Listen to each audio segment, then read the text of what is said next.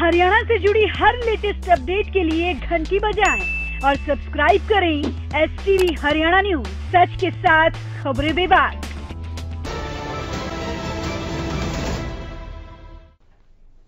हरियाणा में विधानसभा का मानसून सत्र शुक्रवार को शुरू हो गया। सत्र की शुरुआत से ही दो बातें साफ़ थीं, एक सिटिंग अरेंजमेंट और दूसरा हंगामा। और सदन ने दोनों ही दृश्य दिखाए।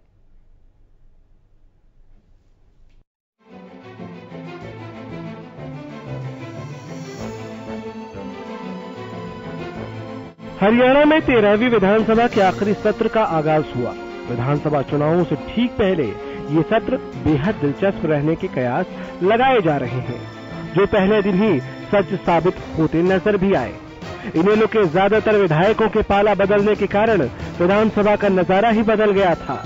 सिटिंग अरेंजमेंट पहले से बिल्कुल जुदा था। विपक्षी कतार में जहाँ पहले इनेलो वाले बैठा करते थे, वहाँ कांग्रेस के विधायक जमे दिखे। संख्या बल के हिसाब से कांग्रेस मुख्य विपक्षी दल जो हो गई है। किरण चौधरी नेता प्रतिपक्ष की सीट पर बैठी तो लेकिन नेता प्रतिपक्ष की हैसियत से नहीं, कांग्रेस विधायक दल की नेता के रूप में।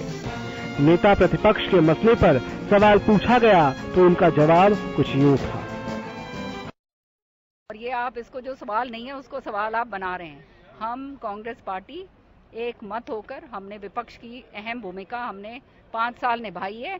और ये सदन के अंदर भी पूरी तरह से आज पहला सत्र था, पहला सत्र का पहला दिन था, उस दिन भी हमने निभाई। और जो है, अब हम जो है विपक्षी, मेजर विपक्षी दल है, वहाँ हम बैठे मानसून सत्र के पहले दिन सबसे दिलचस्प वाकया तो ये हुआ कि एक दूसरे की सियासत के कठोर दुश्मन रहे इनेलो के अभय सिंह चौटाला और कांग्रेसी दिग्गज भूपेंद्र सिंह हुड्डा साथ में गुफ्तगु करते नज़र आए। अभय सिंह चौटाला तो भूपेंद्र सिंह हुड्डा के बेंच पर जा बैठे और उनसे बातचीत की। इस दुर्लभ नजारे के आम होते ही पूरे सदन में खुसफुसाहट शुरू हो गई। तमाम नेताओं ने इस पर चुटकी ली। हालाँकि हुड्डा से मुलाकात के मसले पर अभय सिंह ने जो बोला, वो बड़ा दिलचस्प रहा। कांग्रेस और इंडियन नेशनल लोकदल पार्टी में कोई जूते और गुस्से नहीं चले थे। पर्टिकुलर एक व्यक्ति ने एक छोटी टिप्पणी करी थी, उसको इस बात के लिए सबक दिया था। एक दूसरे का आमना सामना हुआ तो मैंने उनसे पूछा था कि हुडा साहब, चार पाँच दिन पहले अखबार में एक खबर छपी थी। उसमें कहीं ईडी ने आपसे पूछताछ करी और उस दौरान आपको कोई प्रॉब्लम आ गई थी, आपको इमीडिएटली डॉक्टर बुलाने पड़े आपकी तबीयत तो उसके बाद ठीक है। उन्होंने भी ये कहा कि ये सारा का सारा एक प्रोपगंडा था मेरे खिलाफ। मैंने कहा उनका परमात्मा आपको स्वस्थ रखे, क्योंकि आपने जो हमारे साथ किया, वो जगह अब आपके लिए तैयार हो रही है। सदन में किसान और किसानी से जुड़े मुद्दे उठाए गए तो प्रदेश में अपराध के बढ़ते ग्राफ का हवाला कांग्रेस पार्टी ने दिया। विधायक करण दलाल ने विकास चौधरी की हत्या का मुद्दा उठाया। इन ज्वलंत सवालों पर सरकार ने अपना पक्ष भी स्पष्ट किया।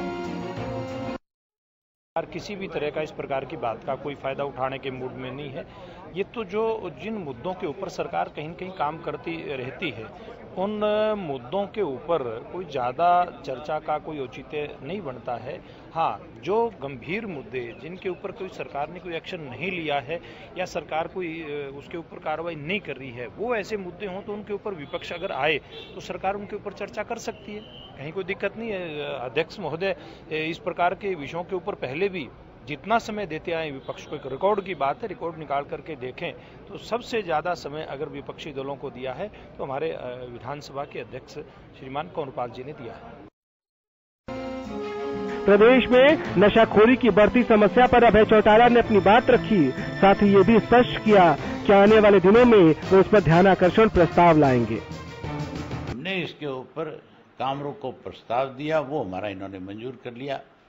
हम पाँच तारीख को खुल करके इस पर चर्चा करेंगे खुल के नाम लेकर के बताएँगे कि कौन लोग इसकी तस्करी करने वाले हैं। सरकार क्या उन पर शिकंजा कसती है क्या करती है? उधर सरकार की तरफ़ से पिछले पाँच साल के कार्यकाल का ब्यौरा प्रस्तुत किया गया। तमाम महकमों के मंत्रियों ने बीजेपी सरकार के कार्यकाल को जनहितैषी और सफल बताया।